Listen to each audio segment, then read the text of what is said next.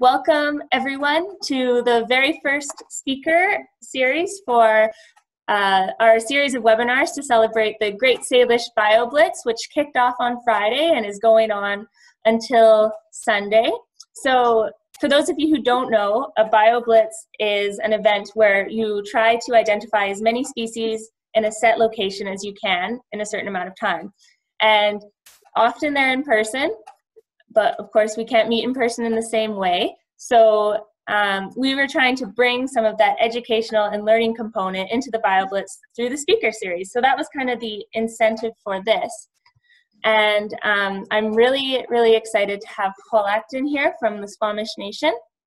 And before we begin, I would like to acknowledge that I'm joining from the territory of the Songhees, Esquimalt, and Wasanich people, and Victoria, but the Salish Sea BioBlitz is occurring all throughout the Salish Sea, which encompasses many different Coast Salish territories.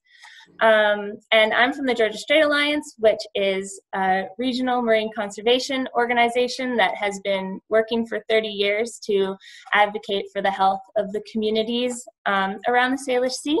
And I would also, before we introduce Xwalacktun, would like to introduce my co-host Chelsea, who is my dear friend and has is helping me organize this week of BioBlitzing. Hi all, I'm Chelsea. Uh, I'm a part of the Ocean Bridge 2020 cohort. Ocean Bridge is a national youth program from OceanWise that brings together Canadian youth to organize and participate in ocean and waterway service projects. So Ocean Bridge is partnered with Canada Service Corps, a government initiative that focuses on community service by Canadian youth. And the program provides mentorship, education, and resources for program participants to help inspire and support youth in their ocean and waterway volunteer efforts and community service projects. Kirsten's also an Ocean Bridge alumni, and uh, the Great Salish Sea BioBlitz is um, part of my community service project through Ocean Bridge. Yeah. So yeah, it's been really fun working with Chelsea on the BioBlitz, and we're really excited about how the BioBlitz is going so far. So like I mentioned, this webinar is just part of it. The other part of it is that you can actually download the iNaturalist app on your smartphone and get outside and take observations wherever you live. It's really fun, and so far our project has um, identified over 1,000 different observations, uh, 410 different species. So it's I'm really excited to see those numbers go up over the course of the week. Um, and yeah, so our speaker today is Xwalacktun, and Chelsea is going to introduce him. Or am I? Oops. Is that, oops, my bad. I'm going to introduce him. Uh, he has a very um, awesome background in art and culture and we're really excited to see the stories that he's going to share with us in the art. We are getting a little preview before the webinar went live. So Xwalacktun was born and raised in Squamish. He carries with him the rich ancestries of his father's eh, Squamish Nation and his mother's Kwakwaka'wakw Nation of the Coast Salish clans.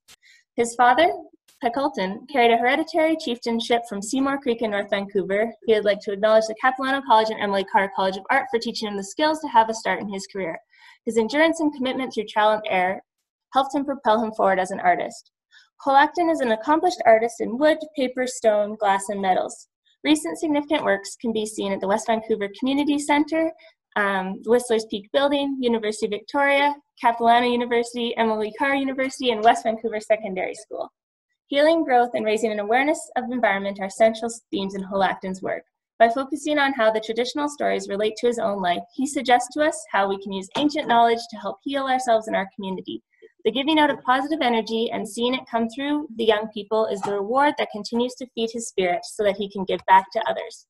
So um, thank you so much, Xwalacktun, and I will turn it over to you now for the next little bit. Okay, OCM, thank you for the introduction. Hi, my name is Xwalacktun. I grew up with the name Rick Harry. And for myself as a young person, I've been on the waters a lot because my father and brothers, we used to be on the water a lot and we used to food gather yeah, back in the day when I was young. So I am still young at 62, and I feel really young yet. I'm still working hard in my life. I enjoy it, and uh, enjoy sharing with people. And uh, my hopes are I can offer you something today. And my offering is I would like to just start off with, um, you know, like I grew up in Squamish and I always heard stories, but our stories are somewhat broken up, but we're trying to piece it back together because you notice uh, a lot of our libraries have passed away, our elders, our ancestors. So a lot of stories are were probably incomplete, so we're kind of piecing it together. And I, in my in my own journey, I feel like I pieced it together in my own life journey, how these stories can relate in my journey to help make things better in, life, not just for myself, but people around me or for the environment. Because every time I drink a water, water is life. I think about the water that gives life to all things. And everything always ends up uh, out in the, the sea and the ocean. so in our teachings too, we always learn that we have to at times we have what we call cold river baths. When we go into the river, we cleanse ourselves, mind, body, spirit, and we let it out with sound. And with that sound, we can bring out that if there was any negative energy and it goes into the water and the water takes it away from us.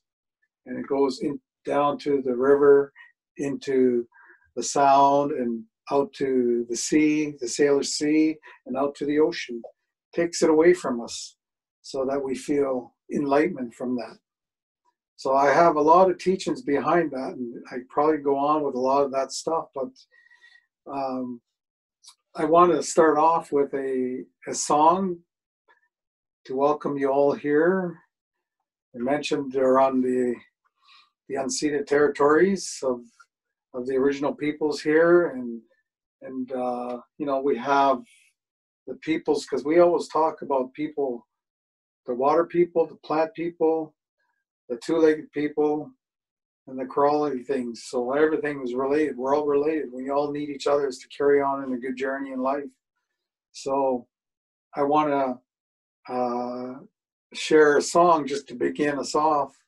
And the song is a greeting. And the person, the name who sang the song is Suqualia. Suqualia would get up early and climb maybe a little mountain and look around. And just as daylight's coming, she would share a song to greet the day what I'll do is I'll just sing a taste of it because you know I don't want to sing the whole song. It'll take a while to do. So I designed my drum here. It's a Salish drum. The mm. Thunderbird. The Thunderbird is like the creator. And our energy, this energy is going this direction with the Thunderbird, but the energy of this one is also going the opposite direction in Salish, we do our ceremonies going counterclockwise. so Sequoia would share the song, look around and pay attention to all her surroundings and give thanks. She might see birds singing. She might see animals moving around. She might see salmon swimming, swimming by and she will breathe and give thanks with the song.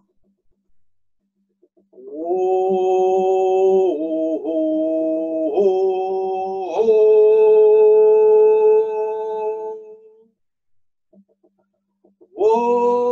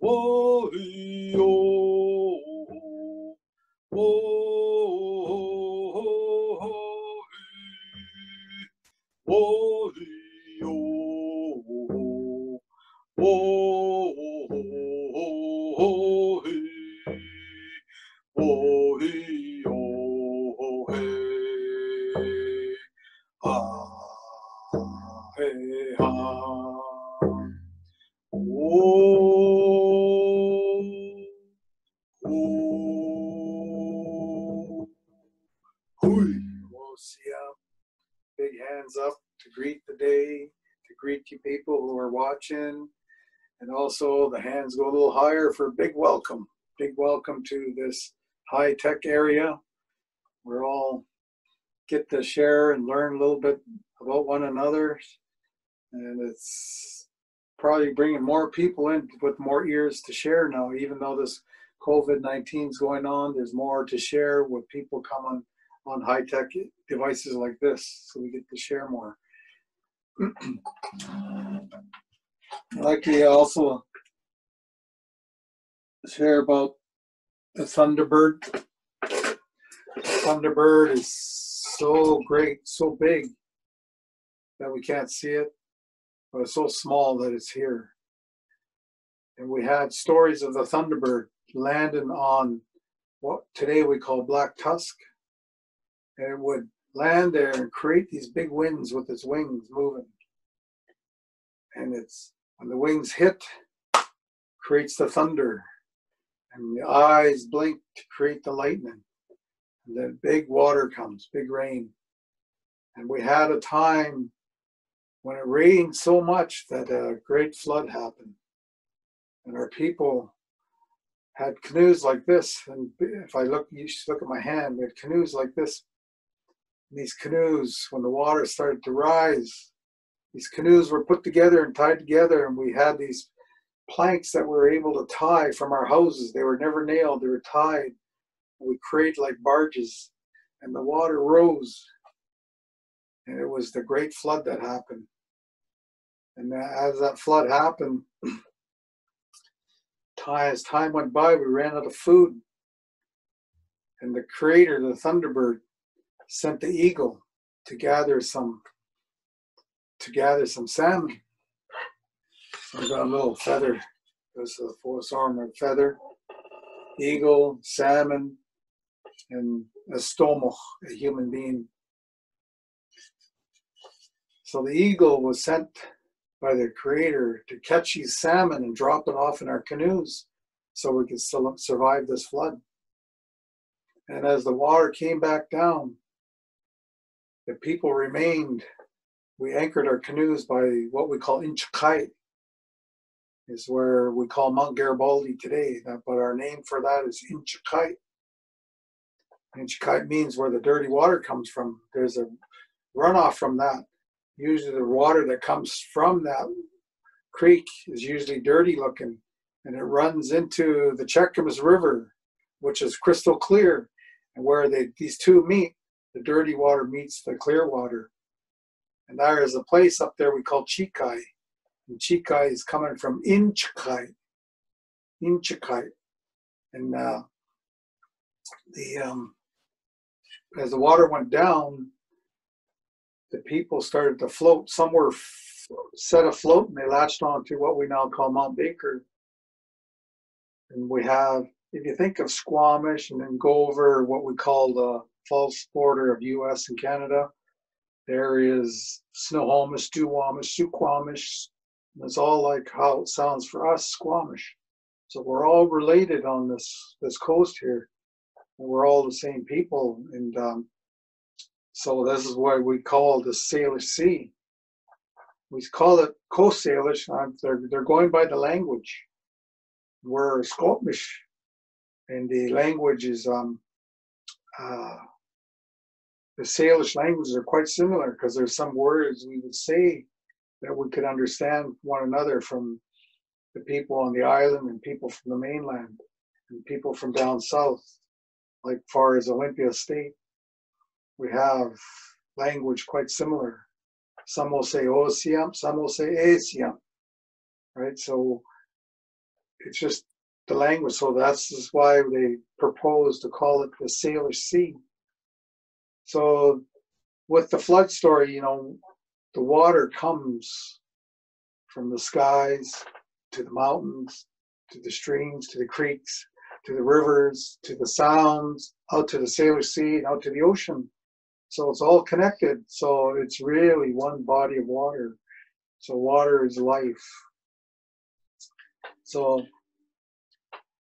in my life journey, I used to drink fire water, but now I purified myself. Now I drink clear water, water from the Creator. It's real good water. I enjoy it nowadays. So, anyways, I went on a journey in 1993, and this is my year of my sobriety coming up, and I joined a canoe journey. So this print, I did this print here behind me. There's people standing here in the canoe. This is the one we call the Kohulf, the Squamish Nation canoe. The Kohulf is a seaworthy canoe. And it's we're able to go out in the Salish Sea and we travel from there up to Bella Bella Waglisla, the village named Waglisla up there. We as we traveled, we learned a lot about one another. And as I moved through the waters to the Salish Sea, we went up towards Seymour Narrows and up to what we call Charlotte Sound and up to Bella Bella.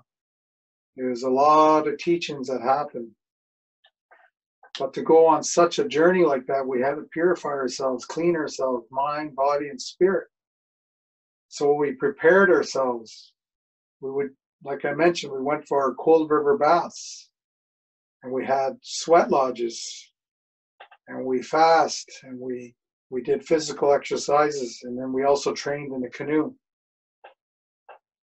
and uh, some parts of our canoe when we were training we would go up uh, towards the narrows like first narrows second narrows and when the tide's running we would throw a bucket in the water tied to the canoe and we had holes in the bucket and it would slow us down and we're bucking tide but we're pulling hard with our with our paddles and and as we're doing that, we weren't moving.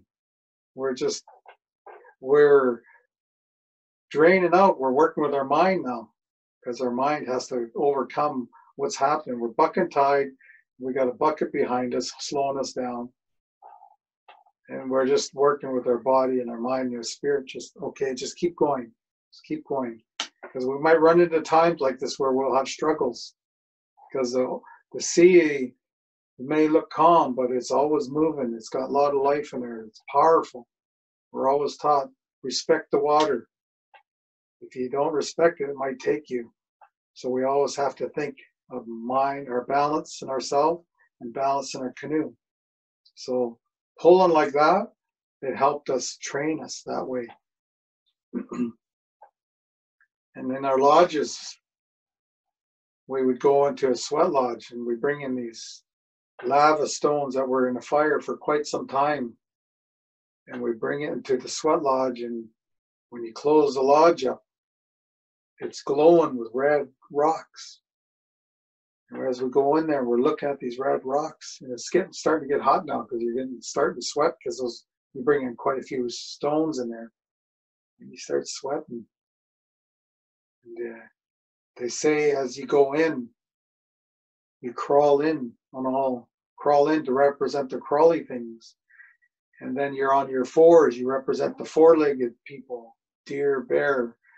Then you go on, we have cedar boughs inside, so you represent the plant people are there with us. And then you have, we sit down perched like we're as humans and as like birds. So we're looking at what we call might see as the universe. We're looking into this red amber stone in the middle of the lodge and we're sweating. And they say what we have to offer is our inner self. So we sweat, we bring out any bad impurities that bother us, bring it out, let it sweat, it goes back to the earth. So there's water again. Water is important.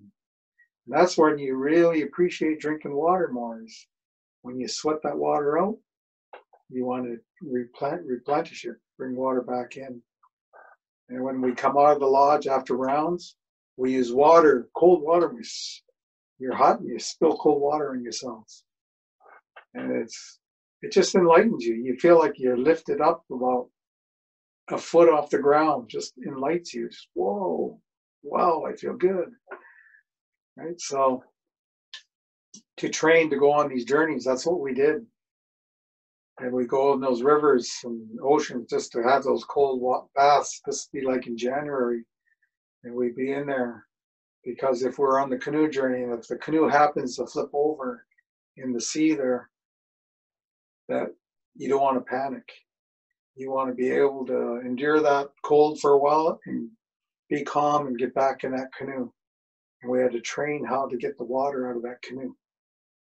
So we get out of that water quick as possible. And uh, I did that with my family canoe. And we went out in the water and I told the family, I want everybody in this canoe to try to flip it. And I'm the skipper here and I'm going to try to hold that canoe and try to stop it from flipping over. This is so they can get trust in the canoe and also in the skipper. So I had the paddle and the bar and they're trying to they're trying to tip the canoe and I'm trying to keep it steady so it doesn't flip. And they couldn't get it turned over. So I said, okay, I'm going to help you. I'm not going to do this now. Now we're going to flip it. We flipped it. And so now we're in the ocean, the salt chuck. Now we need to get out. How long is it going to take us to get out? So I had someone out on the wharf away from us. I asked them, as soon as it goes over time, let's see how long it takes us to get the canoe, all the water out and all us back in. So what we did is after we flipped it over, we turned the canoe, we lifted a little bit, and we had one person, the lightest person in there, throwing water out. And everybody's in on the outside canoe, flicking water out like this until the canoe raised up and we throw someone else in and they're in the canoe and we're just bailing all that water out. Took us about eight and a half minutes to empty that canoe and we're all back in moving again. So we had to work with our mind, body, and spirit again. And um, it was a nice journey because uh, as we were on that journey on this Kalhoof, we always left one seat open the whole canoe was filled up. We had 11 pullers in it. And we always left one, one, one open, one seat open. And that was for the people who wanted to come on the journey with us.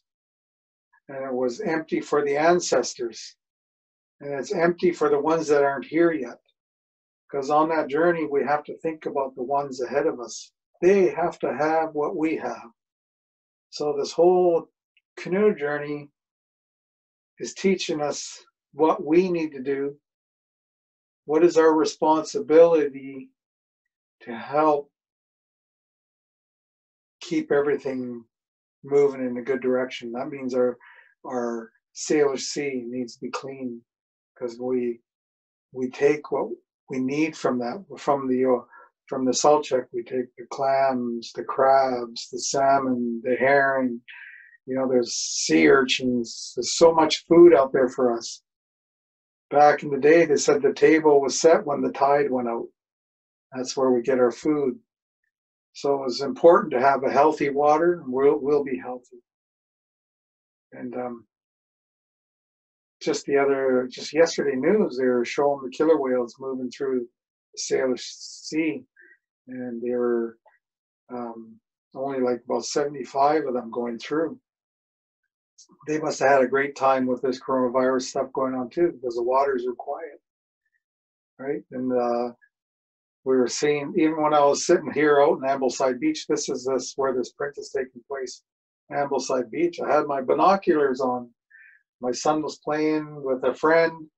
She wanted to bring him down. I just went to join him, and I had my binoculars on, and I was looking out, and I saw like probably 200 dolphins going through. And they weren't going fast. They were just taking their time, very slow. Just slowly going through. And I noticed boats going by, and I don't even think they noticed they were there because they were just zipping by them. They weren't even, when people are focused, sometimes they do this. They're just going. But if you're like in a canoe, you're you kind of pay attention to your surroundings, quiet. So I was letting people know, but they you actually needed binoculars to see it because the naked eye can you barely see them because they're quite a ways over, closer to Kitsilano area. But I was thinking, oh, maybe it'll show up on news today. Maybe somebody will will notice it and send some photos to the news, and it never happened. Was I the only one that saw these? the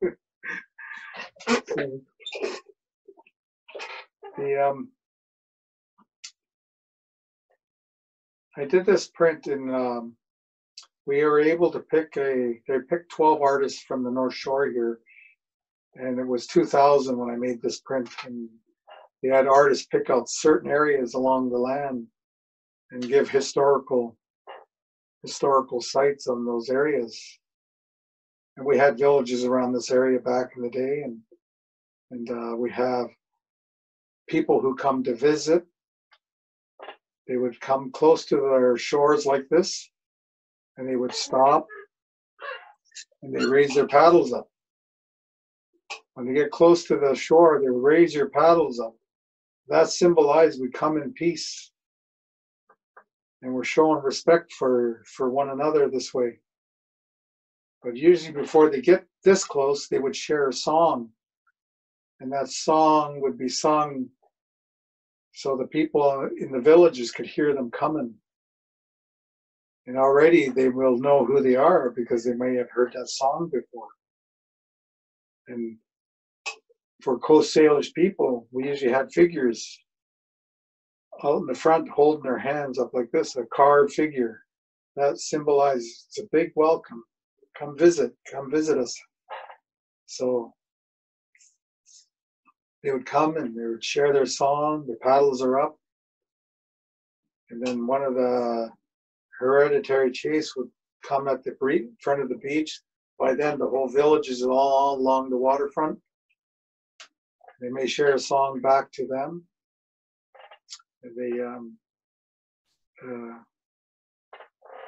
the person that stands here, on like I'm showing on the print here, stands, and you make announcement who they are, where they're from, and ask them permission to come ashore.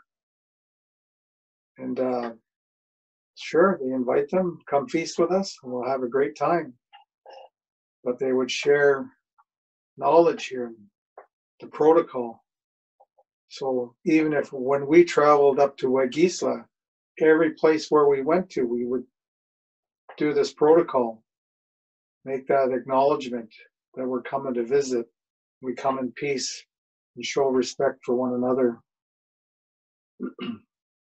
so being on that water, I sure learned a lot about not only about myself, but my culture, about my community, about friendship, um, especially you know just when you're on that journey you're focused.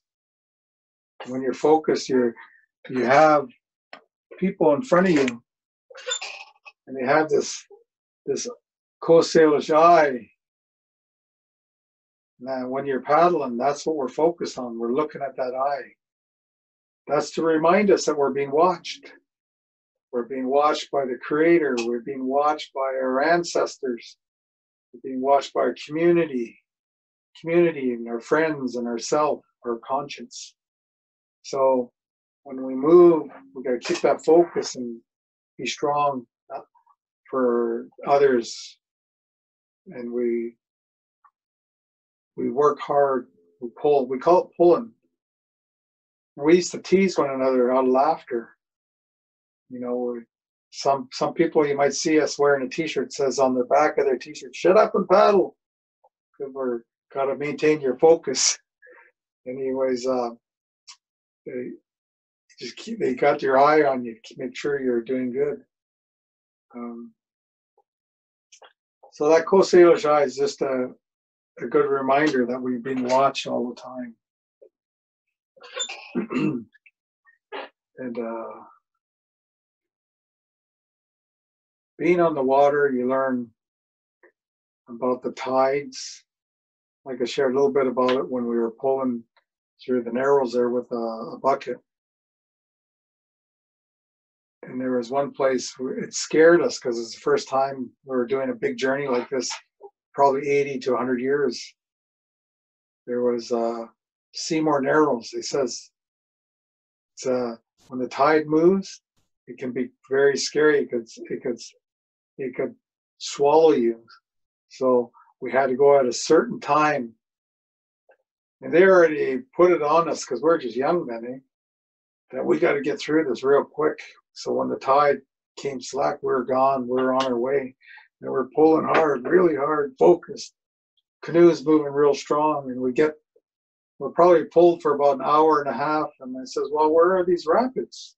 Oh, we passed them. They're way back there. So they, uh, the elderly people, will just teach us that and tell us tell us those things afterwards after we've been through it. Another one was uh, Dodds Narrows was the same. It's very powerful water there. It's real swift. Run, you know, Dodds Narrows sailors see there.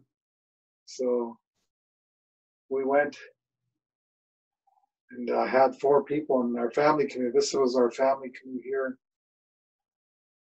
Made this family canoe and I made it uh, to carry our family because my my uh, my father had passed, but no one was carrying the name Pekultn.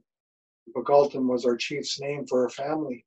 So I built the canoe, and the family came and helped, and we put the name on it, put Pekultn on it to carry the family for a while. But now my youngest brother's carrying the name, the hereditary name from uh, what we now call Seymour Creek. but you know, we're going on the four of us. We're going to head off, and we started from Nanaimo, and we're heading towards Cowichan Bay.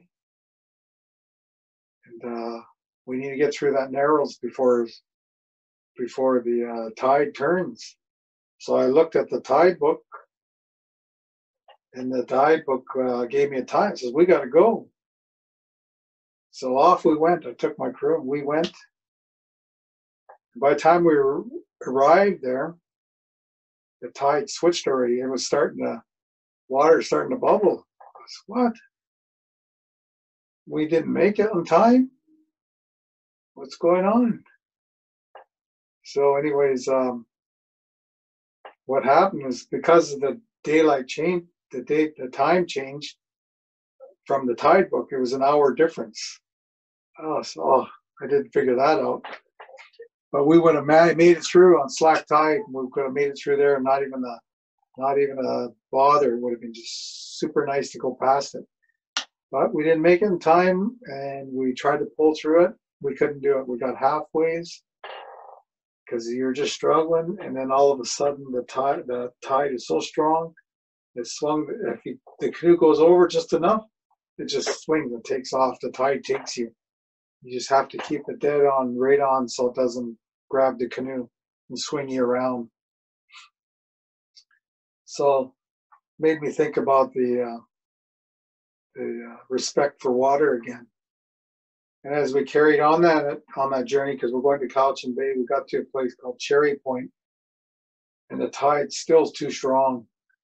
I got to a place, just got to get around that point, and we're made it to Cowichan Bay. And we're there, there's a lighthouse there, a small little lighthouse. We're pulling.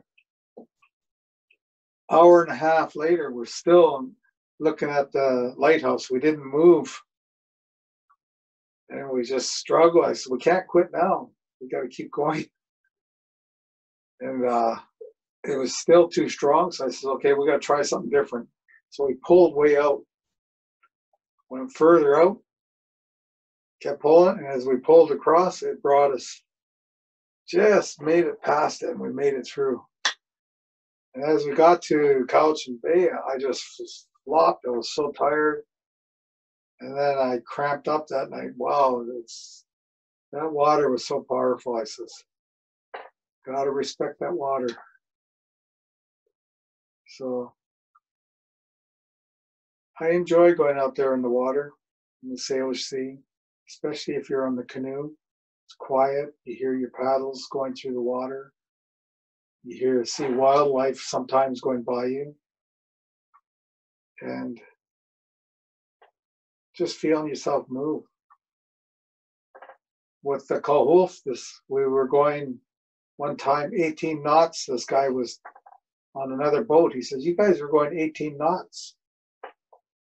Wow, that's that's pretty fast. We're going with the tide, but we're also in good shape by then, and we pulled pretty good. Um, another thing about the water, I was down in uh, Port Townsend. I brought my kayak out and I put my kayak in. My wife was with me.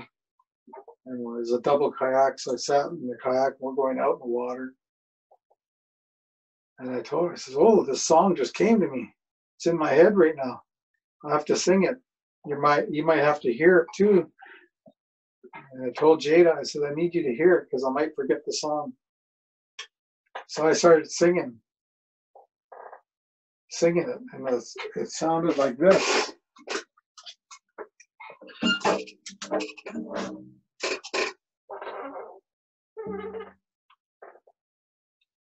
Oh, oh, hey, oh, oh, hey, oh, oh, hey, hey, hey, oh, oh, hey, oh, oh, hey. And it wasn't like I was trying to find a song or anything. It just, it just came to me. And I, I heard stories at times that songs come to you from the water, just being out in the water. And then um, I kept that song with me. And I said, and I got invited to Neah Bay to a potlatch, what we call a potlatch today, today to a feast. And how they invited me is they came up, drove up, it was early in the morning and I was just up for breakfast and I heard some drumming. And I heard my name. My driveway is about 50, 50 feet long. So I opened the door and I saw some people out the edge of my driveway. So I danced out there with my my my robe on. I danced up to them. And I wait till they finish their song, and these were hereditary chiefs from down there. And they asked me if I would come to a feast with them, to a potlatch. And I said, yes, I would. I'd love to come. And they says, well, they took these rolls of uh, cedar kindling of 10 bundles, and they laid it all in front of me. And they said, whatever amount you pick up, that's how many people we're going to think of feeding. So they must have had bundles and bundles all handed out. So that's how they figured out how many people were going to show up. So I would pick up, I only picked up 10, so I took 10 people with me. And uh, what they laid out like a dozen, I thought I was going to bring like 100 people or something. So, anyways, I went down there and I, and I shared with them the song when I was down there. I said, The song came to me. And I love because it was closer to their territory. I said to them, I want to share the song, and if anybody knows the song, it belongs to you. Or if you want the song, someone wants to take that song, we can take it. But sometimes songs come to you for someone else. So I did that route and I shared that, and no one came forward with that song. So just being on that water, I learned a song and there's others on canoe journeys. They they pick up songs on canoe journeys. Um,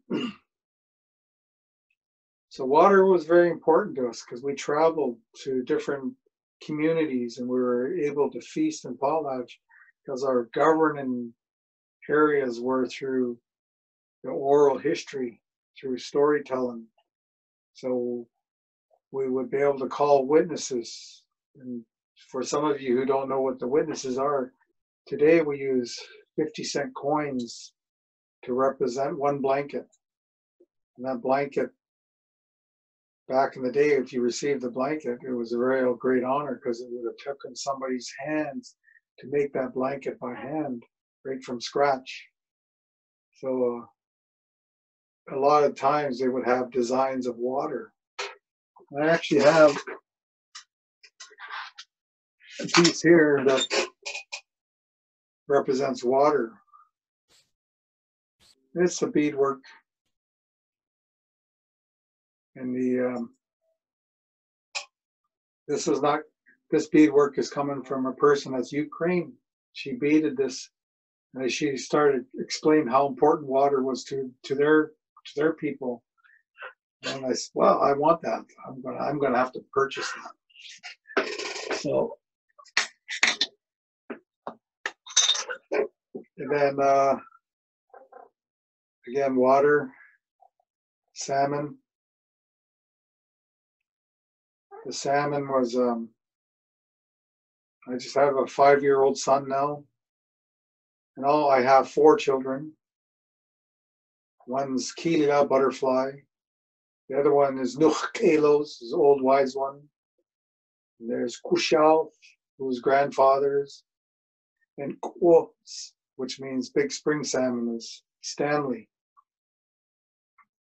But when he was born, I didn't, we didn't, my wife wanted to pick names out and everything and search names. I says, uh, I don't do that. I mean, if you want to search for names, play with names, that's okay with me. But normally I don't do it that way. and just wait for something to come. And anyways, after he was born, I was crashed. I was tired, and Jada was tired, and I was in this dream world because I wanted to find a name for her son. And I was at the mouth of the river, the Squamish River. And I was looking out to the river, looking out to the sound, how sound there. And, and I heard my name being called, Xwalacktun, Xwalacktun. And I was in this dream world, wondering who's calling me, but I can't see who's calling me. Xwalacktun! And I heard, I thought, oh, maybe it's, I woke up and I thought, oh, it was my wife calling me. So I said, what, what, what, what do you want? And I woke her up. Woke her up because I was quite loud, saying, what do you want? Oh, oh, oh no, I was just in a dream. I'm sorry. I was, uh, I was at the mouth of the river looking for a name for a son, the Squamish River. And anyways, this boy, Stanley, he was uh, born at 11 pounds, 8 ounces. So big boy, heavy boy. And he's long. And I got an email four days later because four is important to us too. Four days later, I got an email from one of my elders. Says, "Oh, I heard you had a baby boy, and he's a big kos. Kos means big spring salmon." I says, "That's it." It had to do with the river and had to do with the salmon. Because, you know, the salmon is travels the world. It goes all over the place. So they're important to us. They're very sacred to us. Like like it's shared with the flood story. That's our main staple. We respect salmon like people. We have a ceremony before we we take our first salmon when they come back to give them thanks for them going to give our life away for us to survive. Um, there's just so much teachings to share with you. But I don't know how long I've been rambling. Have I been rambling long enough, or how much more time do I have here? Well, um, we do have a question in the Q&A chat for you that's actually related to salmon. Um, and yeah, we have about 13 minutes left in our webinar. So, Okay. uh, so yeah, so I can put the question forward to you. It's from Tim. Complicated question, but what do you think we humans should do to ensure the salmon water orca connection remains strong, healthy, and sustainable? I think it starts from, uh, you know, as human beings, we seem to can everything. You know, if we let them get where they need to go and create more plentiful salmon. You know, I think I call it we dam things up. We dam it all up so much that it's not able to replenish in time. You know, we got to think of the future. We need to think of this, the wild salmon, not farm salmon. We got to think of the wild salmon and uh, uh, just help them out. We need to help them out right from the streams to the creeks to the rivers to the sea to the oceans.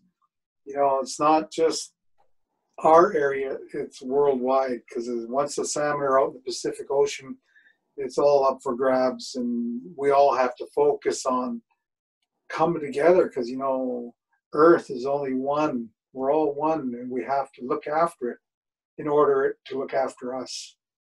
Because, you know, one of the teachings that uh, Chief Seattle says, the earth does not belong to us, we belong to the earth. You know, we have to think that way in order to be a part of the Mother Earth. That's the way I, I see it, anyways. Good question, Tim. I'm sure we could talk a long time with that. That is a good question and a great answer. I'm really appreciating the wisdom and stories that you're sharing with us. We have um, another question coming in the Q&A, and it's from Chuck. Do you have a favorite song that was gifted to you by the oceans? I only have one song, the one I shared with you. That's the only song that ever ever came to me, and it just comes to me when I need. I guess when I need it. But I know a lot of songs from my mother's side, the Quagit side, from the Namgis, and then on my father's side, the Squamish, Squamish.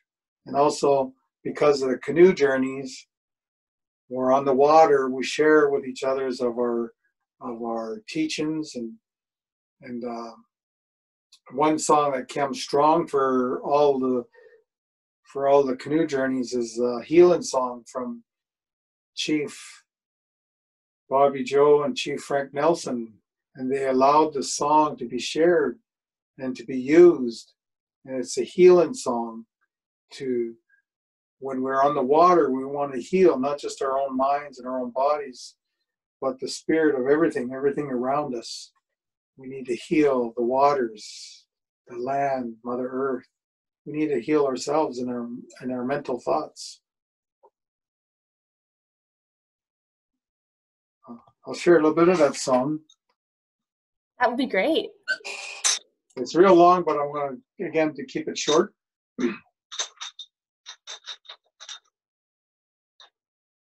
Oh,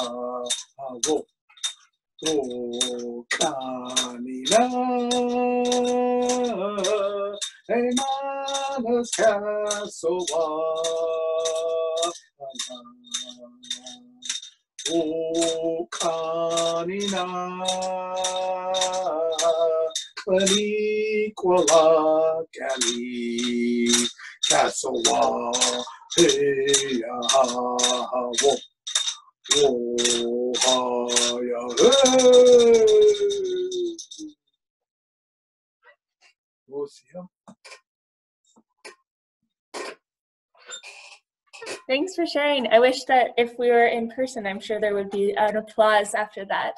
but um, Another question, uh, there's some more questions coming in. Uh, do you still do the canoe journeys like the one you did in 1993? Yes, I've been on several canoe journeys, but I, after I made, oh, sorry, I made a mistake here. Something's gonna happen. Oh, good thing it didn't go on. I hit a tile. I remember go ring a phone. um, I have a family canoe, and uh, just going to have to because when you build a cedar canoe, the cedar canoes always needs maintenance. So back in the day, the canoes would have been if they're not used, you submerge it so the water it stays wet, or you cover it so that you don't want the canoe to dry out because the water the wood expands and keeps it from leaking. So the cedar's light and um, and the wood expands. So I've, I need to repair this one because it's been it's been in a warehouse for about a year and a half now. And it's probably dry and it's cracked because when it dries, it cracks. So I'll have to repair it. So I'd love to get back on it. This is the paddle. I had all our whole family make our own paddles. And you can see again, we have Salish design on it. And this is what I call my family logo. We come from the Wolf clan and we're joined at the hip and the wolf, we were when we were wolf, we stood up, we took our fur coat off, and then we became our human form. So we have a relationship with the four-legged people, and that's so that's uh, the um, stakaya. We call it stakaya in our family. In our family, and this color here would call, symbolizes red ochre, symbolizes protection so we need to be protected when we're on a journey because you know the waters can get rough, and we have to stay calm and stay focused because we the water can take you. You got to respect it and and move with it. Hmm. And, and there's other things I was taught when I was out in the water when I was younger. When I went fishing or hunting out in Howe Sound, keep an eye up above you because sometimes seagulls will flow, soar around real high and they're soaring above you. When you see that soaring above you, it's time to find shelter because there's big winds are coming. So you bring our canoe into the, because back in the day we had dugout canoes, but we cut the back off and we put a plywood there and we put an outboard on it. And that's what I was zipping around out in Howe Sound when I was younger. So we had to go find shelter. There's Defense Island, there's other areas along Howe Sound I can just dip into and wait until the winds calm down, then I go back out again.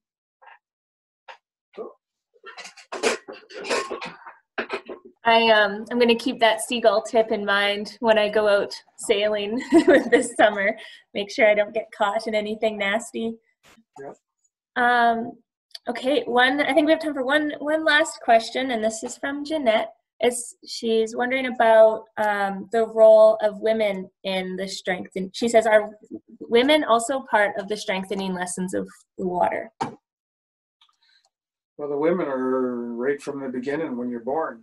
You know, your uh, your mother is always the one to to move to, and even to this day, I'm 62. My mother is she's 89 now and you know at times i would go see her and talk to her like i might need a little bit of advice on something so she's always there for me always there for the family so women are important like they said we always a lot of chiefs joke around they said well behind every great chief is a great woman a greater woman right so she's actually running it So women are important. They're our strength. They're our backbones. That's what I'm always taught. Awesome. Thank you so much for sharing. Um, and thank you to everyone who came to listen and learn with us today, Heichka. Uh, it, yeah, it was such a special hour. I'm really thankful um, for all of the stories and wisdom that you imparted upon us. Um, for folks in the crowd, um, we have four more presentations coming up this week as part of the BioBlitz. So tomorrow we are going to be discussing intersecting identities and how they are related to your access and relationship to the ocean. And um, my friend Chuck is going to be facilitating that conversation. He was in the audience today, so that was exciting. We're going to be learning all about birds of the Salish Sea on Wednesday. Thursday is all about exploring the intertidal zone, and then on Friday it's going to be um, exploring marine mammals and whales. So stay tuned for all that information. And uh, Haituka, again, thank you so much. Thumbs up. Okay. And uh, I'll see everyone at some future events. I'll see ya. Thank you. Thank Wei you.